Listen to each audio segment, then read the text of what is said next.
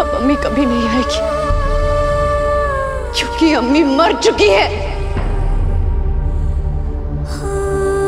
और जानते हो ये सब किसकी वजह से हुआ? जिसे तुम नेमत समझते हो। सच्चाई, मोहब्बत और नेकी का फरिश्ता समझते हो।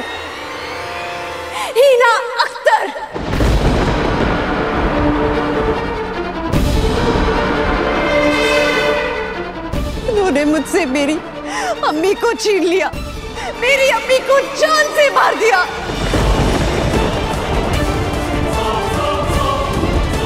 अब तुम बताओ, हैदर, तुम तो बहुत ईमानदार आदमी हो ना। अपने ईमान की कसम खा के बताओ। अगर आज तुम्हारी अम्मी मेरे सर पर हाथ रखती है, अपने घर में पनाह देती है। बहुत कुछ सहा है मेरी बच्ची ने अब, बस। मुझे तुमसे पूरी हमदर्दी मुझे अपनी बेटी कहती है। अल्लाह मियाँ ने मुझे ये बेटी सालों बाद दी है। इसीलिए सालों से तुम सबको जो लाड प्यार मिलता आया है ना वो अब सब एक साथ मैं गज़ल को देने वाली हूँ। अपने घर की बहू बनाना चाहती है। गज़ल को वो सारे हक मिलने चाहिए जिसकी वो हकदार है। क्योंकि हम सबने गज़ल को बहू की सूरत में कबूल किया है? मेरी तालीम के लिए पैसे देती है। अल्लाह तुम्हें खूब कामयाबी दे बेटा। तुम्हारी रोजी रोटी में बरकत अदा करे। अम्मी चाहे दुनिया इधर की उधर हो जाए लेकिन आप उस लड़की की एजुकेशन फ़ीस देने से नहीं चुकती हैं। लोग अपनों को याद नहीं रखते हैं लेकिन आप हर साल उस गैर लड़की को याद रखती हैं। नेकी का काम है। फ़र्ज़ है हमारा।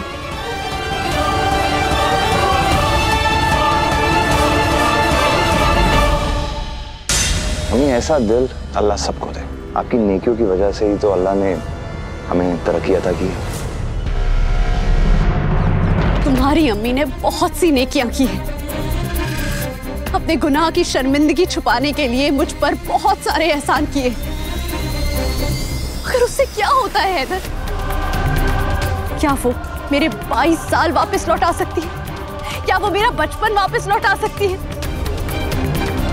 क्या वो रातें जो एक मासूम बच्चे ने अपनी माँ को ढूंढते हुए गुजारी है, क्या वो वापस मिल जाएगी? तुम्हारी अम्मी ने गुनाह किया था, हैदर। उन्हीं की वजह से मेरी अम्मी मार दी गई। और सबसे बड़ा गुनाह तो तुम्हारी अम्मी ने मेरे अब्बू की जान लेकर किया।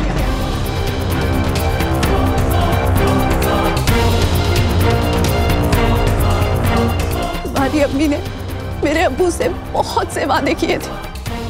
लेकिन निभाया एक भी नहीं। तुम्हारी अम्मी को 20 साल पहले ही जेल हो गई होती, मगर मेरे अबू ने उन पर मुकदमा नहीं किया। उन्हें माफ़ कर दिया। बदले में अबू को मिला